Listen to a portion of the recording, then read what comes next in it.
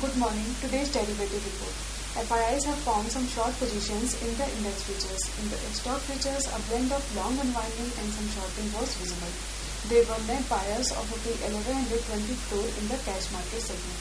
Yesterday, build-up was visible in the, in the 6000 to 6200 call option and 5800 and 5900 put option.